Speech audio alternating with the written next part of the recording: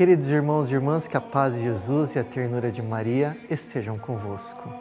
Hoje meditaremos o Evangelho de Lucas, capítulo 5, versículo 17 a 26.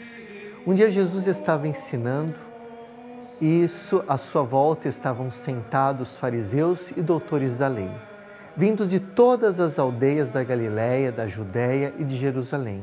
E a virtude do Senhor o levava a curar. Uns homens faziam, traziam um paralítico num leito e procuravam fazê-lo entrar para apresentá-lo. Mas, não achando por onde introduzi-lo, devido à multidão, subiram no ao telhado e por entre as telhas o desceram com o leito no meio da assembleia diante de Jesus. Vendo-lhes a fé, ele disse: Homem, teus pecados estão perdoados os escribas e fariseus começaram a murmurar, dizendo: Quem é este que assim blasfema? Quem pode perdoar os pecados senão Deus? Conhecendo-lhes os pensamentos, Jesus respondeu, dizendo: Por que murmurais em vossos corações? O que é mais fácil dizer? Teus pecados estão perdoados ou dizer: Levanta-te e anda? Pois, para que saibais que o Filho do Homem tem na terra o poder de perdoar os pecados, Disse ao paralítico: Eu te digo, levanta-te, pegue o teu leito e vai para casa. Imediatamente, diante deles, ele se levantou, tomou o leito e foi para casa, louvando a Deus, e todos ficaram fora de si, glorificando a Deus.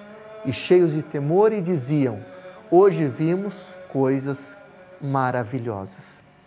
É muito bonito, irmãos e irmãs, vermos a fé daqueles homens que queriam apresentar o seu amigo paralítico a Jesus.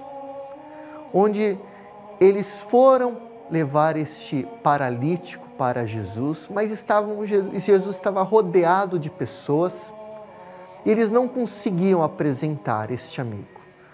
Mas eles queriam de qualquer maneira que Jesus visse esse amigo porque eles acreditavam que Jesus o vendo, Jesus ali o tocaria e ele poderia ser curado. Então eles pensam uma maneira, destelham a casa para descer esse paralítico pelo telhado. Olha como é bonito ver que quando alguém quer algo de Jesus, quer apresentar algo para Jesus, não mede esforços para que isso aconteça. Eles não mediram esforços.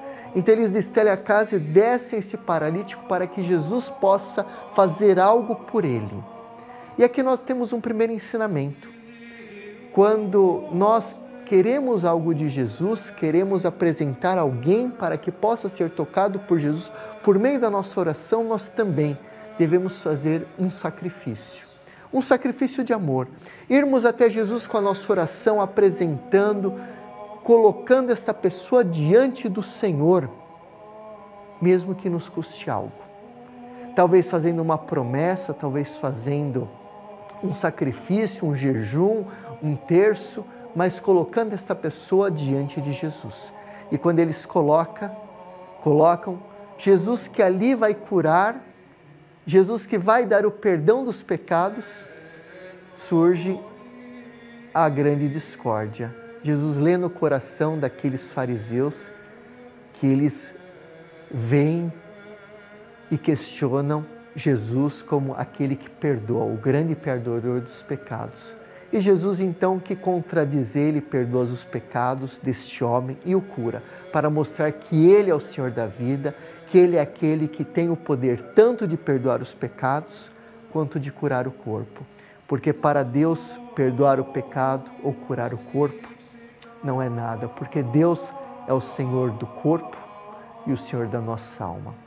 Que nós possamos hoje entregar toda a nossa vida, a nossa história, o nosso corpo, muitas vezes doente, a nossa alma ferida, no coração do nosso Deus. O Senhor esteja convosco, Ele está no meio de nós. E por intercessão de Nossa Senhora de Guadalupe, abençoe-vos o Deus que é todo-poderoso, o Pai, o Filho e o Espírito Santo. Amém permanecemos na paz.